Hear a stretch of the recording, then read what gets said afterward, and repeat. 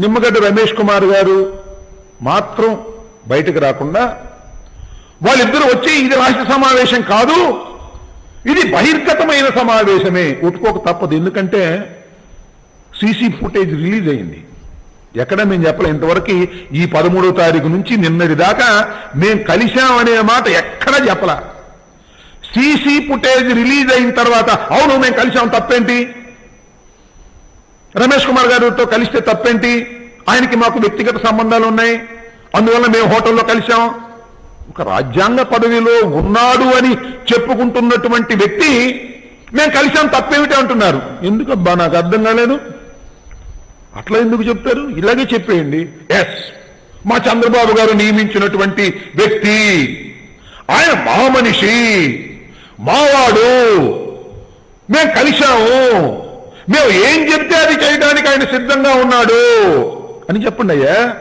సునా చౌదరి గారు కామినేని శ్రీనివాస్ గారు చంద్రబాబు నాయుడు గారు పంపిస్తేనే మేము కలిశామని చెప్పండి. ఆయన కోసం వేల కోట్ల రూపాయలు వందల కోట్ల రూపాయలు కోట్లాది రూపాయలు ఖర్చు పెట్టైనా సరే మేము ఆయన్ని సిఈసిగా నియమింపజేసే విధంగా మంచి మంచి ప్లేడర్లను పెట్టి వాదింపచేస్తామని చెప్పండి. ఈ ప్రభుత్వానికి వ్యతిరేకంగా ఆయన తయారు చేస్తామని చెప్పండి. అలా చెప్పండి మాకేం అభ్యంతరం లేదు. మీకు మీకు సత్సంబంధాలుంటే మేము మొట్టమొదటి నుంచి చెప్తున్నది అదే చంద్రబాబు గారు నియమించినటువంటి వ్యక్తి ఆయన మీ వ్యక్తి మీవాడు. సిఈసిగా ఉండి ఎస్ఈసిగా ఉండి ఇష్టం వచ్చినట్టు చేస్తున్నాడు. అని మేము కదా మేము చెప్పింది? దాన్నే మీరు ఇవాళ అంగీకరించే పరిస్థితికి మీరు వచ్చారు దానిలో సందేహం ఏముందని అంటున్నా.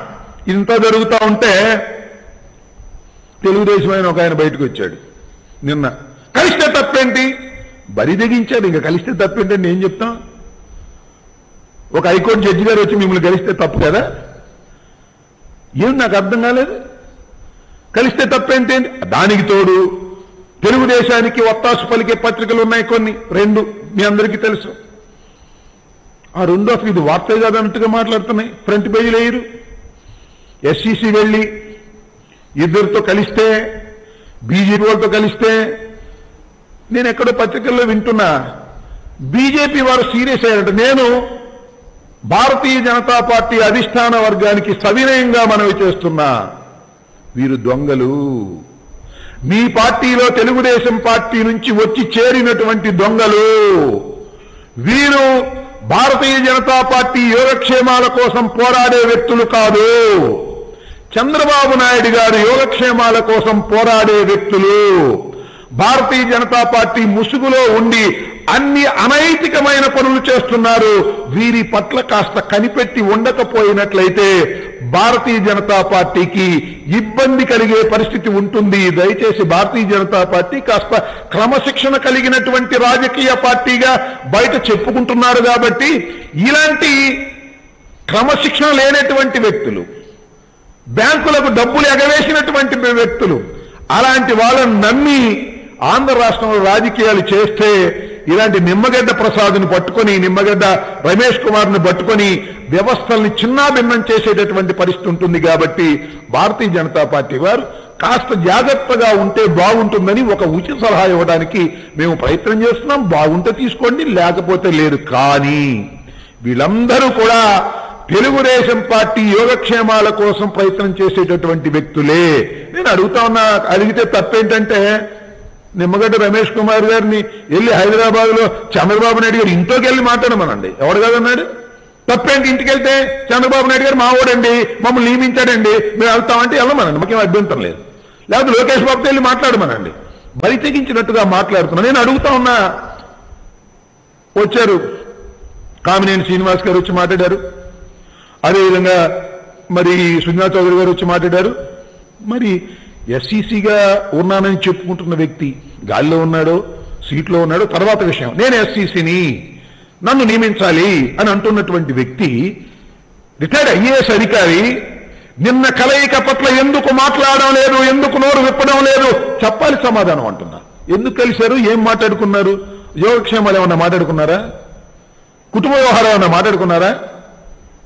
అది దొరికిపోయారు కాబట్టి దొంగలు మేము దొంగలం కాదు మేము బహిరంగానే మాట్లాడుతున్నాం. మేము ఆ హోటల్ ఎందుకు కలుస్తాం రాష్ట్రం కలిస్తే అక్కడ గెస్ట్ హౌస్లో కలుస్తాం కదా అని ఇలాంటి చౌకబారు మాటలు చెప్తున్నారు. మీరు ఒక కుట్రపూరితంగా కలిశారు. ఇది అనైతికమైనది అధర్మమైనది. దీనికి మూల్యం చెల్లించక తప్పదు. ఇంకా. Yes hmm.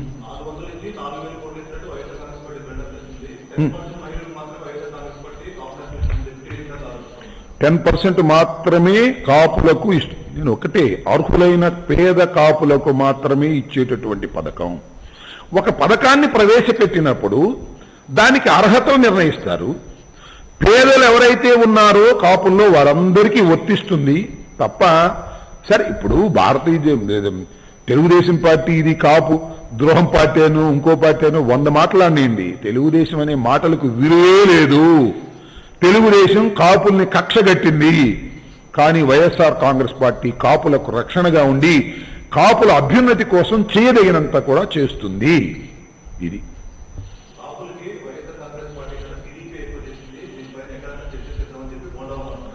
బోండా ఓమా అంటున్నాడా ఓకే మేము కూడా సిద్ధమే. కాపులకు వారేం చేశారు? మేమేం చేశారో? చర్చలకి మేము సిద్ధమే. టైము డేటు చెప్పమని వెళదాం తప్పేం లేదు. కాపులకి మేమేం చేశామో అక్కడదాకా ఎందుకు? బోండా ఉమ గాని లేకపోతే చంద్రబాబు నాయుడు గారు కానీ మరొకరు గారిని సూటిగా అడుగుతా ఉన్నా. ఇవన్నీ వద్దు అసలు చర్చలే వద్దు. ఒకటే ఒకటి సూటిగా అడుగుతా ఉన్నా. మీరు ఏమి వాగ్దానం చేశారు? సంవత్సరానికి వెయ్యి కోట్లతో ఐదు వేల కోట్ల రూపాయలు ఖర్చు పెడతానని చెప్పిన మాట వాస్తవమా కాదా? వాస్తవమే. ఎంత ఖర్చు పెట్టారు? ఐదు వేలు ఖర్చు పెట్టారా? ఈ ఒక్కటి చెప్పమనండి.